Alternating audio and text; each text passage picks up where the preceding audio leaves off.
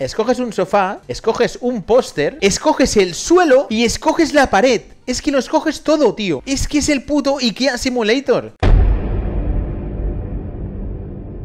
Vamos a empezar con el análisis de este vídeo a primera vista. Este alerón trasero del Alfa Tauri no es como el del Ferrari. Esto ya tiene chasis, final, sí. Aquí tenemos el Ferrari que ya tenemos el nuevo modelado en Miami. Race Day Redefined. Esto es el tipo de carreras sprint que han metido ahora. No podremos hacerlo en todas las carreras. Aquí te están diciendo que los pianos tienen unos niveles que se pueden ver, al menos visualmente. Fijaros la banana como catapulta un poco al, coche. Mirad cómo lo levanta. Ahí veis cómo lo ha levantado. Vale, Formation Labs, esto lo sabíamos. Ahora, en las eh, vueltas de formación, podemos coger el coche y dejarlo en el punto de salida. tenemos los pit stop inmersivos. Y aquí tenemos la novedad, pit stop errors. Ya había oído algo y se puede ver como el mecánico baila un poquito con la rueda y la lía. Ya sabéis que el safety car tiene los periodos inmersivos. Vale, aquí tenemos los modos de entrenamiento. Para el modo trayectoria puede estar bien. Los practice programs, los objetivos. Eh, tenemos ahora una línea más ancha y que da más información. Vemos que la onboard vibra, ¿no? Aquí tenemos la vibración y adaptativa. Eso quiere decir que la IA cambia respecto al nivel que le pongas. Lógica, esto ya estaba realmente. Yo creo que esto no cambia nada. Aquí vemos esta cámara que me gusta.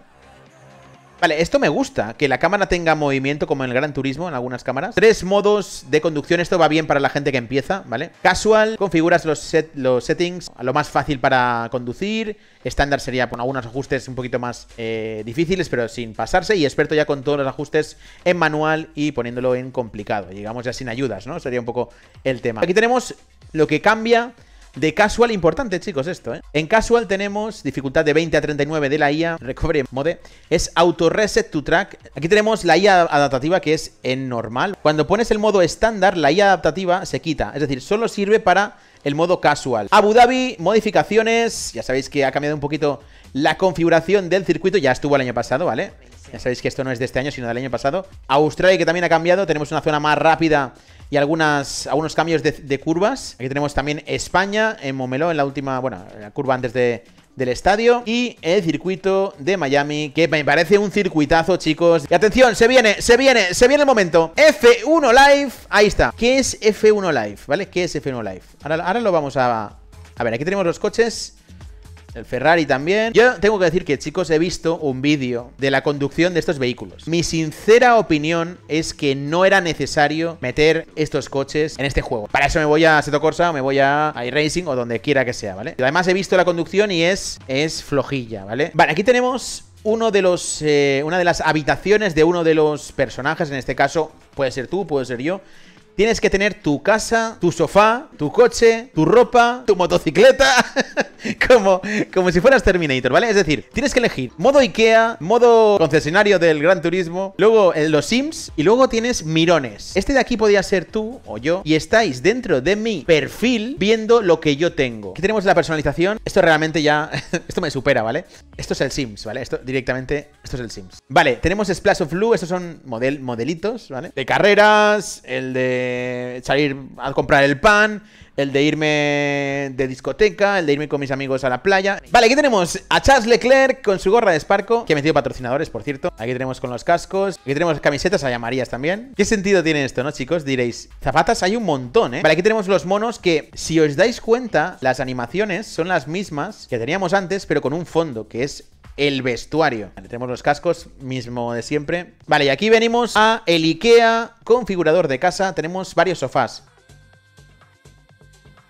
Esto me cuesta un poquillo, me cuesta un poquillo. ¿Para qué tengo que decorar una casa, tío? Es que no tiene sentido. Escoges un sofá, escoges un póster, escoges el suelo y escoges la pared. Es que lo escoges todo, tío. Es que es el puto IKEA Simulator.